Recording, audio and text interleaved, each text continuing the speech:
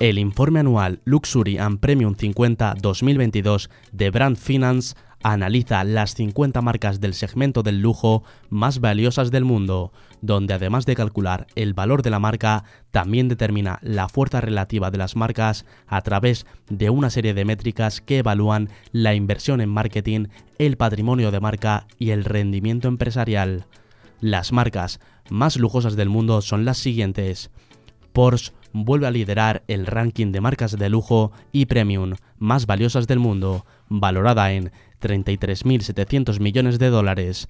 Por detrás se encuentra Louis Vuitton, con un valor de 23.400 millones de dólares tras haber aumentado su valor en un 58%. Y en tercer lugar, tras haber sido desbancada por esta última, se encuentra Gucci.